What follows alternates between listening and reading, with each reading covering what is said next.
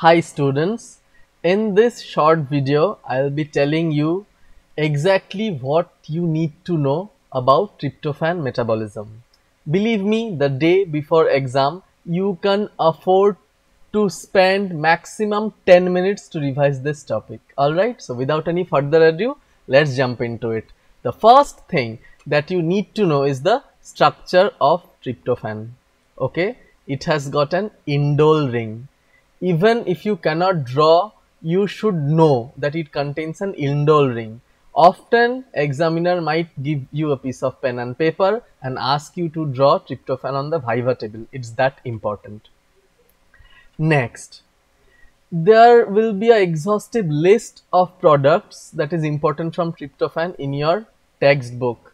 But as i tell you you don't need to know each and everything right? For the bare minimum the thing that will easily make you pass. You should know number one, one important product that is synthesized from tryptophan is niacin, okay, one vitamin. Two products that is neurotransmitter that are synthesized from tryptophan are serotonin and melatonin and one excretory product that is hydroxy indole acetic acid so from this list, you can pause this video and copy them or you can find them in your textbook. But if you remember 4, 5, 6 and 7, that's all. Okay, next. You will find in your textbook a big pathway, a long pathway involving various intermediates. Absolutely ignore that. You don't need to know that. Okay. But few things you need to know is tryptophan is involved in one carbon metabolism okay? You just need to know that it is involved. How? You don't need to know. Next one product that you need to know is an intermediate of tryptophan metabolism is this one kynurenine okay? Wherever you get an mcq that says kynurenine always mark tryptophan as your answer okay? So this product xanthurenic acid you need to remember because it's excreted in urine and we'll be learning that about in a disease in short while. And how and what vitamin plays as a cofactor in tryptophan metabolism? Pyridoxine. Okay? In the form of pyridoxal phosphate. And ultimately that pyridoxal phosphate leads to synthesis of niacin so NAD okay? So as I told you in the previous list you need to remember niacin. That is produced from tryptophan. You need to remember pyridoxal phosphate or pyridoxine that helps in tryptophan metabolism. And you need to remember this product kynurenine because the name kynurenine is synonymous with tryptophan metabolism. And the enzyme is easy to remember that helps as pyridoxal phosphatase cofactor is kynureninase. That's it. Okay you know when you are asked about name amino acid that are both glucogenic and ketogenic you know tryptophan is that amino acid which is both glucogenic and ketogenic. That you need to remember. You don't need to remember the product or you need, don't need to remember how all the glucogenic and ketogenic products are formed. Absolutely not. So you can skip this chart if you find it in your textbook. So how ultimately the product is formed from tryptophan, I will tell you how to easily remember. This pathway you don't need to remember. Again, I am telling you what you need to remember. I already highlighted this in the previous slide. This enzyme kynureninase you need to remember. Why? Because kynureninase deficiency happens in case of pyridoxine deficiency. Means if PLP is deficient kynureninase cannot act. Okay? And that will lead to various problems. And in that problem what is excreted in urine? This thing. Xanthurenic acid is excreted in urine. So it is a marker of pyridoxine deficiency. All right so how niacin is synthesized from tryptophan. You don't need to remember. But niacin is synthesized from tryptophan that you need to remember. And in that context you need to remember name of one compound that is phosphoribosyl pyrophosphate or PRPP okay? So PRPP is involved in synthesis of niacin from tryptophan. So again I am telling you you don't need to remember the detailed pathway. Just remember NAD plus is formed from tryptophan. Okay and you know NAD plus is needed in various pathways. That is why tryptophan is an essential amino acid. So again I am telling you this one. Tryptophan PLP with the help of this kynureninase enzyme ultimately leads to the formation of nicotinic acid or NAD okay i'm telling you this thing over and over again because this is the only thing you need to remember.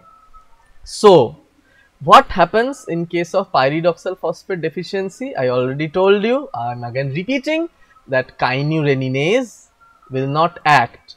It means xanthurenic acid will be excreted in urine but that is not enough. Niacin deficiency will happen because NAD plus will not be synthesized and ultimately it will lead to pellagra.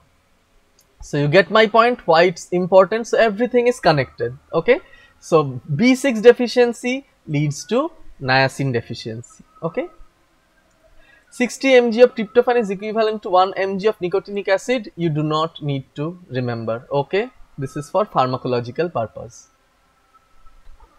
So next what you need to remember is how both serotonin and melatonin is synthesized from tryptophan. Again, you don't need to remember the intermediate structures, okay? But you know, if you know the chemical nature of serotonin, it will be easier for you. The chemical name of serotonin is 5-hydroxytryptamine. 5-hydroxytryptamine, serotonin, okay? So, if you forget everything. So tryptophan first has to become 5 hydroxytryptophan. So what enzyme will act on that? A hydroxylase enzyme. And now one amino acid will become amine. How? You know amino acid means it has got both COOH group and amino group. If the COO group is removed, it will become amine. So a decarboxylase enzyme acts. So remember first one is a hydroxylase, it becomes tryptophan to 5-hydroxytryptophan and from tryptophan to tryptamine there is a decarboxylation. So a hydroxylation and decarboxylation, tryptophan becomes serotonin. This will be asked in Viva. So if you forget everything just remember two step hydroxylation and decarboxylation. You can write it in a piece of paper very important. So this is tryptophan to serotonin and the next question you will be asked how serotonin becomes melatonin. That is also a two step procedure. You don't need to know the intermediate detail. You just need to answer the examiner acetylation followed by methylation. That's all. So acetylation followed by methylation. So serotonin becomes acetyl serotonin and by methyl transferase it becomes melatonin. Now examiner from there he or she might ask you okay who does the methylation? And it is done by SAM. And then from there he can go into one carbon metabolism. That's a separate issue. But remember acetylation and methylation. That's enough. So next we come to few applied portion regarding tryptophan metabolism and how it helps in diet. You know serotonin is an excitatory neurotransmitter okay. So if serotonin level is low it leads to depression. So lowered serotonin level leads to depressive psychosis. So all the patients of depression has got serotonin lowering. You will read in pharmacology what are the drugs that helps to tackle this issue. Another interesting thing to know is all amino acids that is protein rich food are rich in tryptophan so more tryptophan means more serotonin will enter into the brain and it will cause alertness. However, if someone has someone eats carbohydrate rich food, it lowers the tryptophan level, okay? and it means less serotonin in brain and it will induce sleep because serotonin is an excitatory neurotransmitter. You need to know that serotonin is secreted from the argentaffin cells in GIT. Okay, that's an anatomy and physiology question, but an applied importance that will need that will be needing in both anatomy and physiology is a tumor known as argentaffinoma or carcinoid tumor ultimately leads to excess serotonin production. Okay, and this leads to intermittent flushing and diarrhea. Okay, and in this scenario, tryptophan is diverted towards the serotonin pathway. The NAD is not formed. That leads to pellagra in case of these tumors. Okay, and as you know, in excess serotonin production, this urinary 5-hydroxy indole acetic acid will be increased. So, this is also a marker of carcinoid tumor and argentaffinoma that is a tumor marker. Now one thing you should be very careful that melanin and melatonin are different. Melanin is a pigment that is produced from tyrosine and melatonin is a neurotransmitter that helps in sleep wake cycle or the diurnal variation that is produced from pineal gland is a product from tryptophan. Alright, you can see double R what a spelling mistake. So moving on so, major excretory product of tryptophan, you will see a huge chart in your book, you don't need to remember, okay. This indican, skatole, etc. you don't need to remember. One excretory product that you need to remember is this one, 5-HIAA, hydroxyindole acetic acid.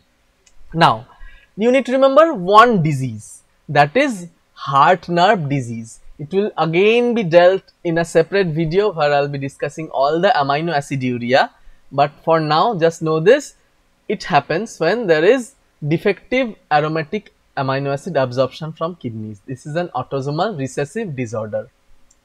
Simple. What will happen? Tryptophan deficiency that will lead to niacin deficiency and that will lead to pellagra. And clinical features will be all related to pellagra that is dermatitis, dementia, etc. etc. And what is the treatment? Simple as well, just supplementation of niacin and tryptophan in diet. So remember, tryptophan, Hartnup disease. Next, this is the final slide where we look at the overall metabolism of tryptophan. Again, you do not need to remember everything. You just need to remember how serotonin is formed, hydroxylation and decarboxylation, how serotonin is converted to melatonin, acetylation and methylation. One excretory product that is 5-HIAA and one important vitamin that is niacin. And you should know that glucogenic and ketogenic, I mean tryptophan is a both glucogenic and ketogenic amino acid and if you go to the first slide, you should know what is the structure of tryptophan? It is an amino acid, aromatic amino acid that contains an indole ring. So that's it. That is the least amount of time or the maximum amount of time you can invest in reading up or revising tryptophan metabolism. Feel free to get back to me with all your queries and if you like to see, I hope to see you again with another video. Till then, bye and take care.